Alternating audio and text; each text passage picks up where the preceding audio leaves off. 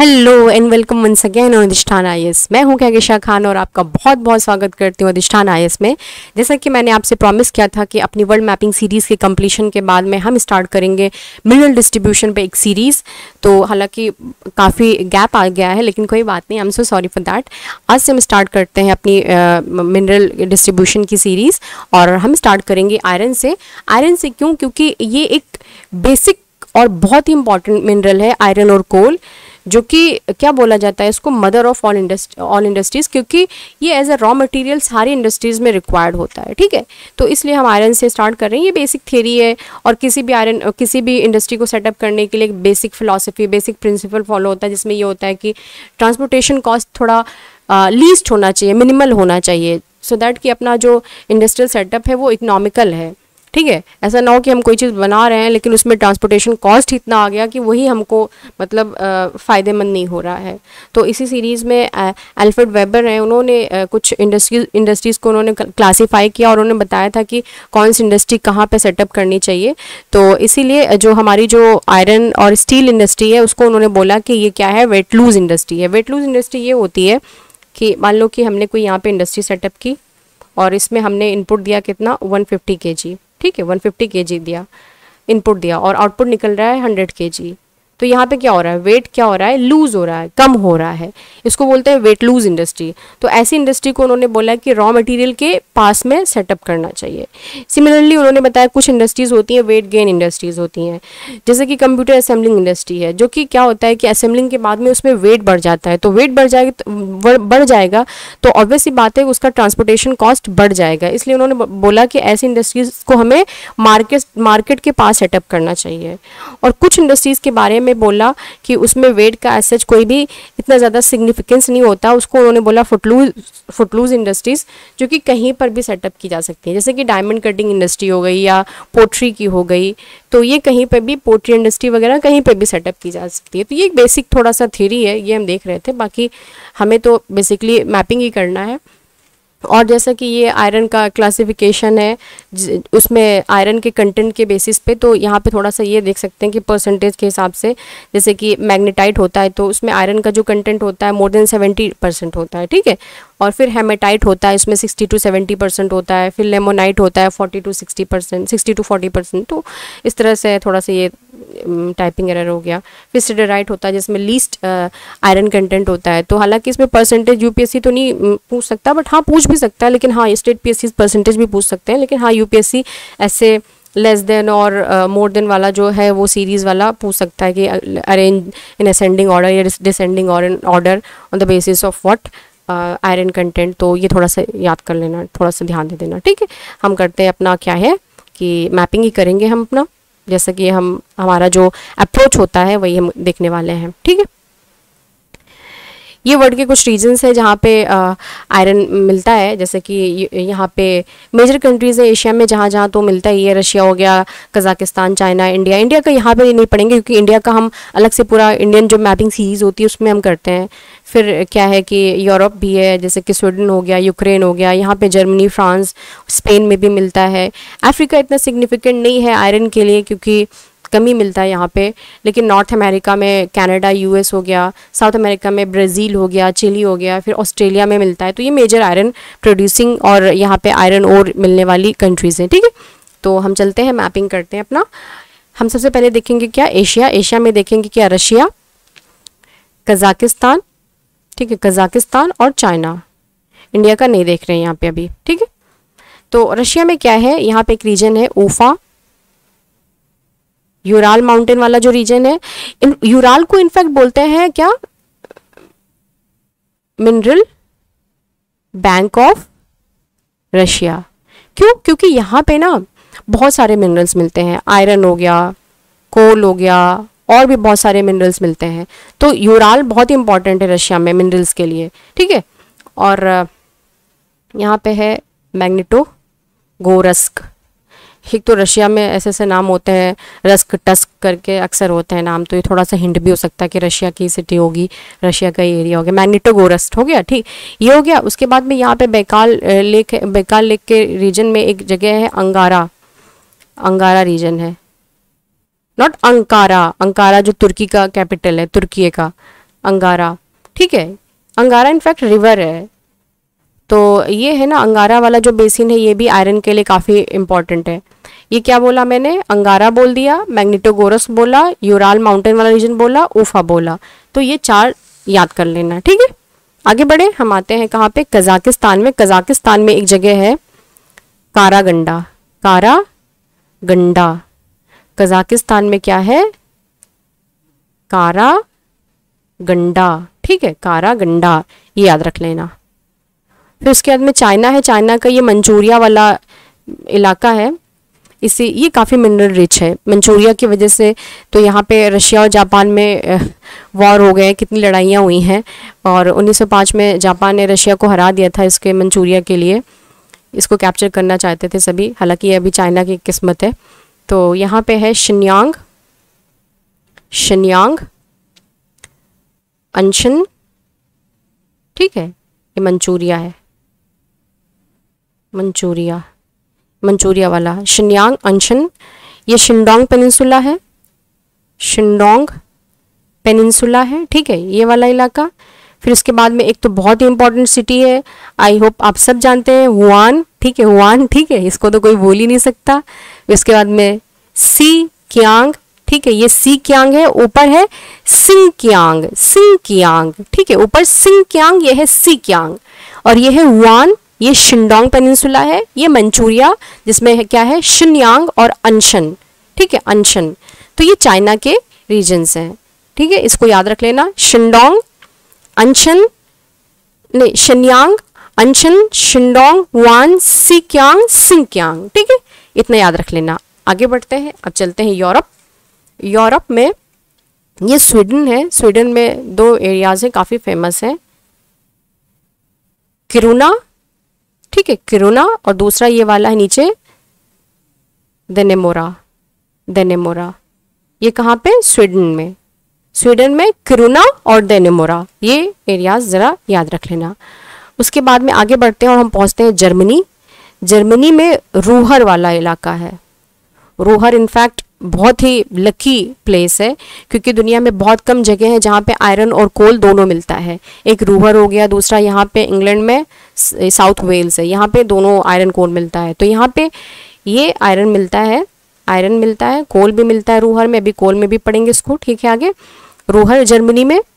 ये जर्मनी की मैं बात कर रही हूँ, कोई बोले कि कहाँ की बात हो रही है? जर्मनी में रूहर वाला रीजन है। इनफैक्ट बहुत सारी वर्ल्ड की मेजर ऑटोमोबाइल कंपनीज़ है ना, उनका यहाँ पे हेडक्वार्टर है, जैसे कि बेंज हो गया ऑडी हो गया बी हो गया। इन सब की यहाँ पे हेडक्वार्टर्स हैं। इसके इन इन ऑटोमोबाइल और और भी बहुत सारे ऑटोमोबाइल कंपनीज़ है, जिनका हेडक्वार्टर कहाँ पे? रूहर में है, जर्मनी में है। जर्मनी के बाद में यहाँ पे आते हैं कहाँ? फ्रांस। फ्रांस में क्या है? लोरेन वाला जो रीजन है लोरेन ये आयरन के लिए काफ़ी फ़ेमस है, ठीक है? इनफैक्ट इसको पहले ये जर्मनी का पार्ट हुआ करता था, इसको फिर वर्ल्ड वॉर वन के बाद में इसको फ्रांस ने ले लिया था, फिर हिटलर ने इसको कैप्चर किया था, ले लिया था फ्रांस से छीन लिया था तो ये तो बात ही अलग है। इन्हीं मिनरल्स वगैरह के लिए ही तो इतनी लड़ाई हुई world war world war one two ठीक है? तो ये रूहर हो गया, फिर ये फ्रांस में लॉरेन हो गया, उसके बाद में ये स्पेन है, यहाँ पे एक रीजन है, स्पेन में बिलबाओ बिलबाओ, स्पेन में, ये हो गया, ठीक है, ये काफ़ी फ़ेमस है। और फ्रांस और स्पेन के बीच में मैंने बताया था, एक नेचुरल सेपरेट करता है माउंटेन रेंज है पायरिनीज करके बताया था हमने। पायरिनीज जो माउंटेन रेंज है ना, ये भी आयरन के लिए काफ़ी फ़ेमस है। पायरिनीज तो पायरिनीज के बारे में मैं लिखती हूँ। ये क्या है कि फ्रांस और स्पेन के बॉर्डर पे, ठीक है, बॉर्डर पे है, ये आयरन के लिए फ़ेमस है। ठीक है? ये हो गया। उसके बाद में हम चलते हैं कहाँ पे? यूक्रेन। यूक्रेन में ये है क्रिवॉय रोग, और ये वाला एरिया इसको बोलते हैं कर्च ये आयरन के लिए काफ़ी फ़ेमस है। ये किसकी बात में कर रही यूक्रेन यूक्रेन तो काफ़ी इंपॉर्टेंट है ही। इनफैक्ट यूक्रेन की वजह से मिनरल डिस्ट्रीब्यूशन भी काफ़ी न्यूज़ में ये सब इंपॉर्टेंट ही हो गया है। क्रिवॉय रोग और कर्च ये यूक्रेन के बारे में याद रख कर लेना, ठीक है? यूक्रेन का हमने पढ़ लिया क्रिवाय रोग ये हो गया कर्च ठीक है? ये किरुना देनेमोरा ये कहाँ पे? स्वीडन की बात मैं कर रही हूँ। स्वीडन, ठीक है? फिर जर्मनी में क्या है? रूहर।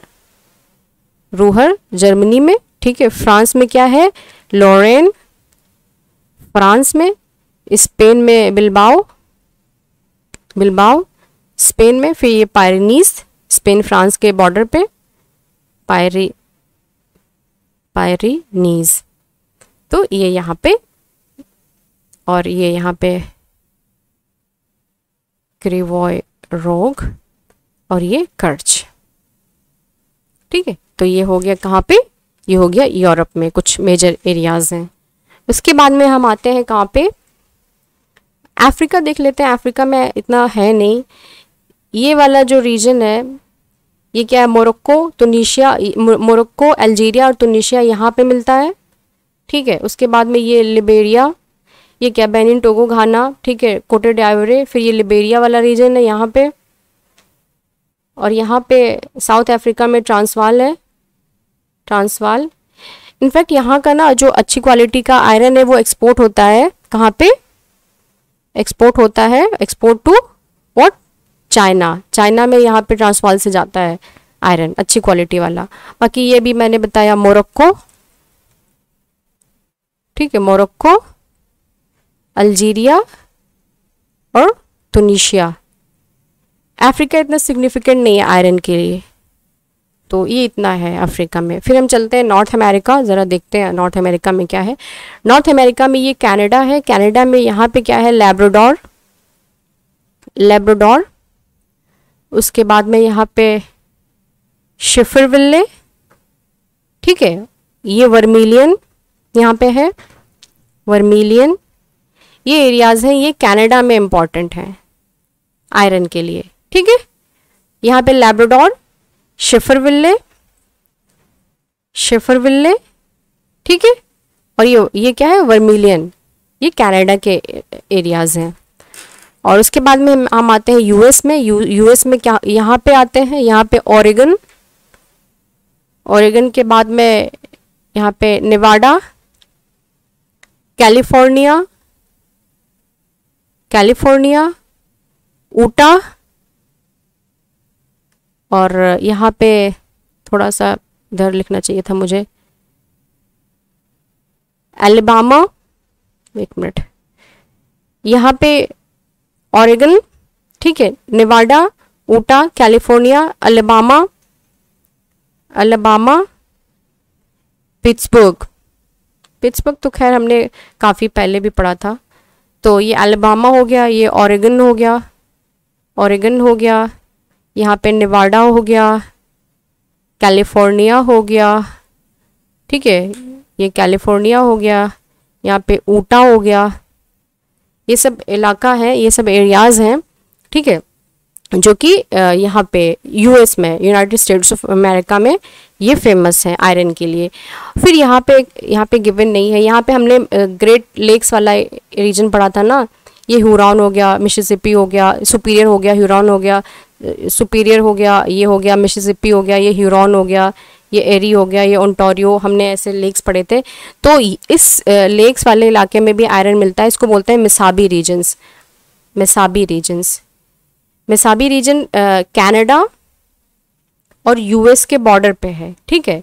तो दोनों कंट्रीज़ के बॉर्डर में जो ग्रेट लेक वाला रीजन है ना ये आयरन के लिए काफ़ी फ़ेमस है। आयरन के लिए फ़ेमस है। तो ये भी ज़रा याद रख लेना। ये लेक्स वाले जो रीजन है। तो इसमें गिवन नहीं है बट इसको याद रख लेना कि कनाडा और यूएस के बॉर्डर पे जो ग्रेट लेक्स वाला रीजन है, उसको मिसाबी रीजन बोलते हैं। मिसाबी रीजन बोलते हैं। ग्रेट लेक वाला। पाँचों जो लेक हमने पढ़ी थी तो ये कनाडा प्लस यूएस बॉर्डर पे है। तो ये भी आयरन के लिए काफ़ी फ़ेमस है। तो हमने क्या क्या पढ़ लिया? हमने लेब्राडोर पढ़ लिया शिफरविल्ले पढ़ लिया वर्मिलियन पढ़ लिया मिसाबी पढ़ लिया ओरेगन पढ़ लिया निवाडा पढ़ लिया कैलिफ़ोर्निया पढ़ लिया ऊटा पढ़ लिया एलेबामा पढ़ लिया पिट्सबर्ग पढ़ लिया। और अब चलते हैं आगे और हम पहुँचते हैं नीचे साउथ अमेरिका साउथ अमेरिका में हमने ये क्या है? ये है क्या? वेनेजुएला ये गुआना इसके बॉर्डर पे दोनों के सेरो बोलीवर करके है। सेरो सेरो बोलीवर रीजन है। किसके? वेनेजुएला और गुआना के बॉर्डर पे। ये रीजन है। आयरन के लिए काफ़ी फ़ेमस है साउथ अमेरिका में। उसके बाद में एक तो हमें याद ही नहीं करना, ब्राज़ील में कराजस, इसको तो मैंने बहुत ही याद करवाया था, कराजस। ये लार्जेस्ट एक तो आयरन माइन है in the world iron ore है इन द वर्ल्ड ठीक है लार्जेस्ट बताया था। प्लस ये है मतलब ये हाई ग्रेड यहाँ पे आयरन ओर मिलता है। हाई ग्रेड आयरन ओर मिलता है यहाँ पे कराजस। ठीक है, इसको तो बहुत ही याद करवाया था मैंने। फिर यहीं पे इताबीरा करके आयरन माइन है आयरन इलाका है। इताबीरा, ठीक है, ये कहाँ की मैं बात कर रही हूँ? ये ब्राज़ील है। ब्राज़ील तो पता ही है कि अपना ये ब्राज़ील है। तो कराजस, इताबीरा, ठीक है, ये याद रख लेना। उसके बाद में चिली में एल्गा रोबो करके रीजन है, इसको याद रख लेना। Algarrobo, L, Algarrobo, L, Algarrobo, कहाँ पे? चिली में। ठीक है, चिली में क्या है? एल, अलगा रोबो। ब्राज़ील में कराजस इताबिरा। और ये वेनेजुएला और गुआना के बॉर्डर पे क्या है? Cerro Bolivar Bolivar. Cerro Bolivar. ठीक है तो यहाँ ब्राज़ील का तो मैक्सिमम जो आयरन है वो कहाँ पे? जापान और चाइना में एक्सपोर्ट होता है, ठीक है? तो क्या ही है? और कराजस, इताबेरा। फिर हम आते हैं ऑस्ट्रेलिया में। ऑस्ट्रेलिया में क्या है? ये है माउंट गोल्ड्स वर्दी ठीक है? माउंट गोल्ड्स वर्दी गोल्ड्स वर्दी। उसके बाद में ये है पिलबारा ये बिलबाव से कंफ्यूज नहीं होता, ये होना है। ये है पिलबारा यहाँ से बहुत ज़्यादा एक्सपोर्ट होता है चाइना को, ठीक है? बहुत, यहाँ मतलब ऑस्ट्रेलिया के पास तो वैसे भी सरप्लस मिनरल है तो वो सबको एक्सपोर्ट करता रहता है इंडिया को करता है चाइना को करता है तो ये ये चीज़ें हैं। उसके बाद में ये है क्या? Koolyanobbing. Koolyanobbing, Koolyanobbing.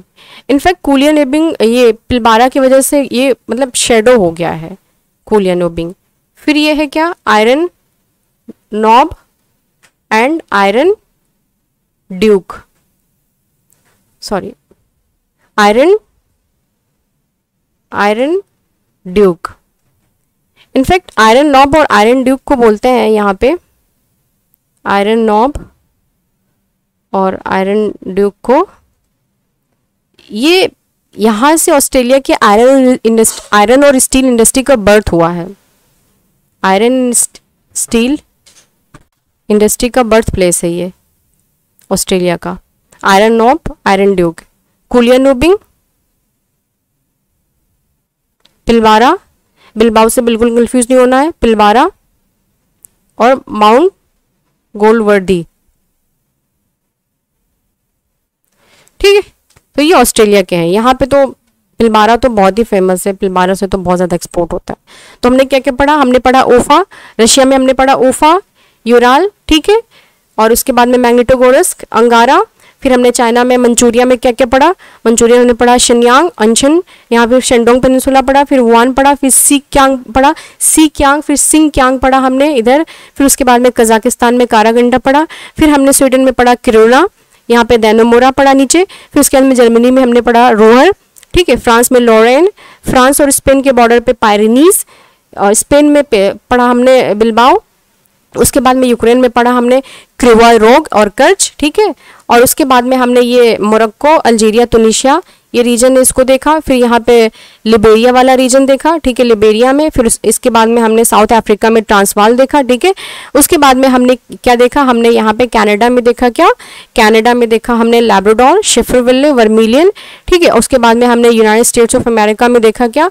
ऑरेगन ठीक है निवाडा कैलिफ़ोर्निया ऊटा अलबामा उसके बाद में पिट्सबर्ग देखा, फिर हमने दोनों के बॉर्डर पे जो ग्रेट लेक्स हैं यहाँ पे ये हो गया क्या? Superior Michigan Superior Michigan Huron और यहाँ पे एरी और ओंटारियो तो इन लेक्स वाले इलाके को बोलते हैं मिसाबी कनाडा यूएस के बॉर्डर पे। ठीक है, यहाँ पे देखा, फिर हमने वेनेजुएला और क्या बोलते हैं गुआना इनके बॉर्डर पे क्या देखा सैरो बोलीवियर सैरो बोलीवर उसके बाद में हमने यहाँ पे ब्राज़ील में देखा कराजस और इताबीरा और चिली में देखा एल्गारोबो उसके बाद में हमने ऑस्ट्रेलिया में क्या देखा माउंट माउंट गोल्ड्सवर्दी पिलबारा उसके बाद में कुलिया नॉबिंग देखा, उसके बाद में हमने यहाँ का जो iron steel industry of Australia का जो बर्थ प्लेस है आयरन नॉब और आयरन ड्यूक इतने चीज़ें देख ली।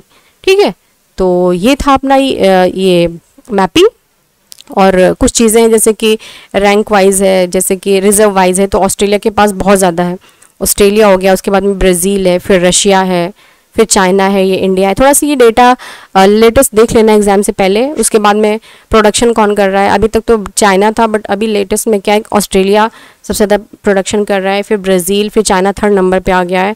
फिर इंडिया चौथे नंबर पे है। फिर रशिया यूक्रेन तो ये चीज़ें थोड़ा सा फैक्चुअल है। इनको एग्ज़ाम से पहले एक बार देख लेना और फिर हम आज के वीडियो को कंक्लूड करते हैं और मिलते हैं नेक्स्ट वीडियो में नेक्स्ट मिनरल के साथ में। Thank you so much